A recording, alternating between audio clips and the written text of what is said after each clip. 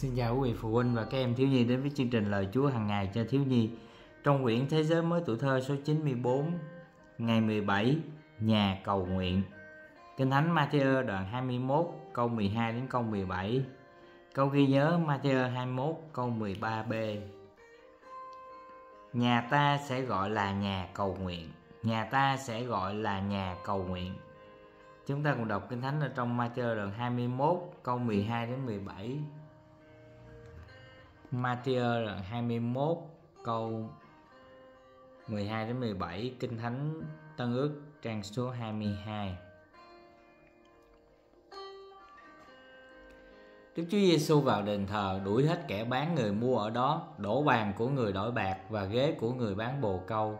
Ngài phán cùng họ rằng có lời chép nhà ta sẽ gọi là nhà cầu nguyện, nhưng các ngươi thì làm cho nhà ấy thành ra ổ trộm cướp Bây giờ những kẻ mù và què đến cùng Ngài trong đền thờ thì Ngài chữa cho họ được lành. Nhưng các thầy tế lễ cả và các thầy thông giáo thấy sự lạ Ngài đã làm và nghe con trẻ reo lên trong đền thờ rằng, Hosanna, con vua David, thì họ tức giận và nói với Ngài rằng, Thầy có nghe điều những đứa trẻ này nói không? Đức Chúa Giêsu đáp rằng, có. Vậy chớ các ngươi chưa hề đọc lời này Chúa đã được ngợi khen bởi miệng con trẻ và con đương bú hay sao? Đoạn ngài bỏ họ, đi ra khỏi thành mà đến làng Bethany và nghỉ đêm ở đó. Câu ghi nhớ chúng ta ở trong câu số 13b chúng ta tô màu nhé.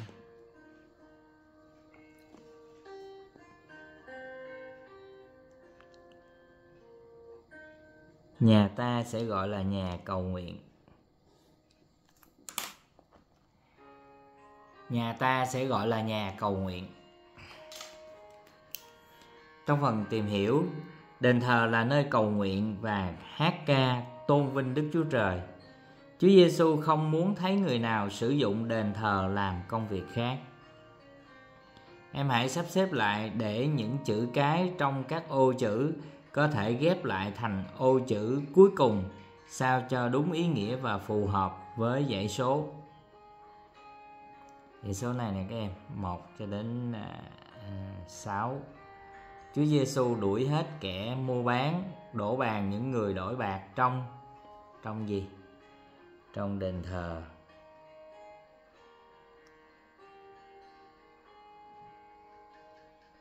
Đền thờ.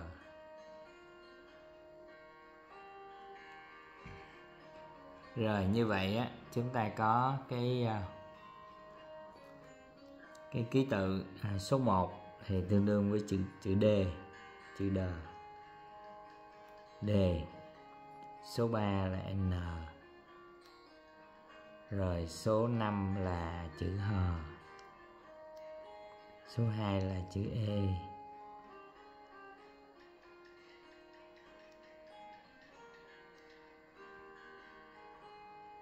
Số 4 là chữ tờ số 6 là chữ ơ.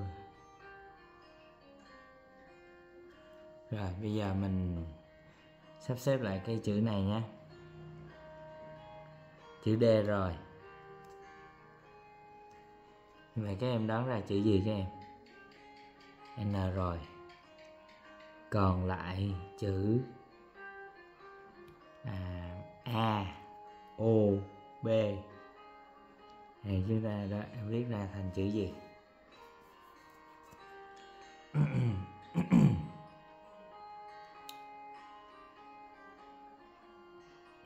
Chữ gì các em?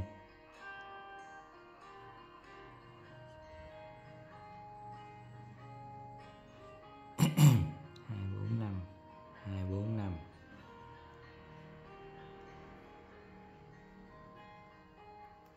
Chữ gì?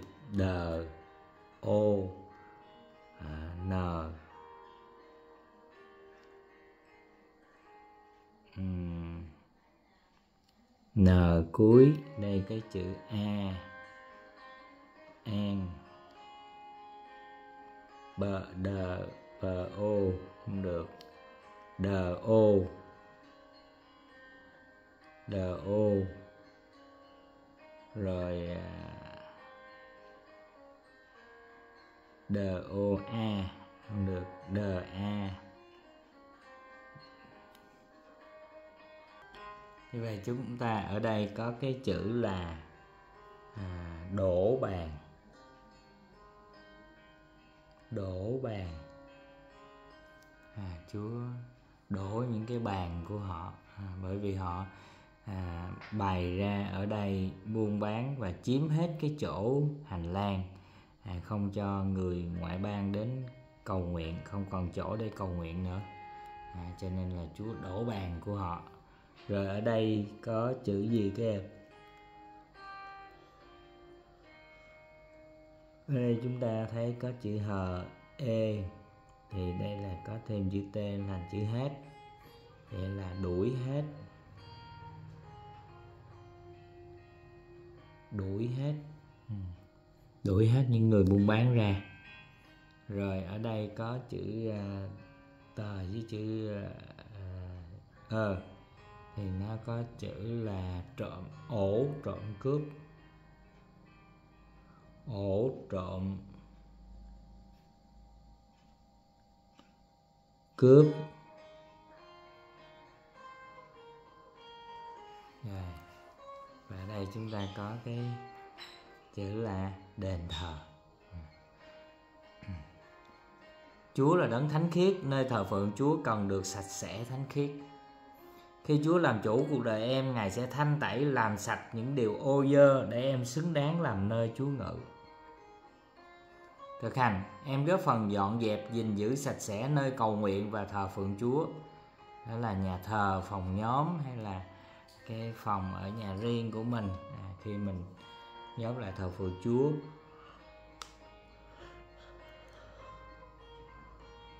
Mình gìn giữ cái nơi nhóm lại được sạch sẽ. Em từ bỏ những lời nói, việc làm sai trái, dân thân thể, môi miệng để trò chuyện tôn vinh chúc tụng Chúa. Đây có hình ảnh các bạn thiếu nhi cùng thờ phượng Chúa ở trong nhà thờ. Chúng ta ghi lời cầu nguyện nhé. Xin Chúa giúp em không nói hay làm những điều không đẹp lòng Chúa. Lạy Chúa, con ngợi khen Chúa là đấng thánh khiết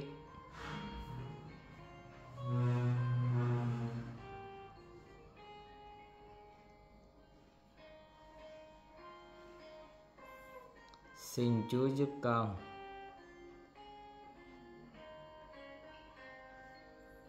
không nói hay làm những điều không đẹp lòng Chúa.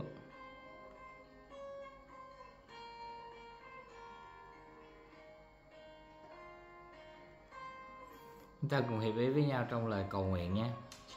Lạy Chúa, con ngợi khen Chúa là đấng thánh khiết. Xin Chúa giúp con không nói hay làm những điều không đẹp lòng Chúa. Con thành kính cầu nguyện nhân danh Chúa Giêsu Christ. Amen. Xin chào quý vị phụ huynh và các em thiếu nhi. Hẹn gặp lại trong bài học tiếp theo ngày mai nhé.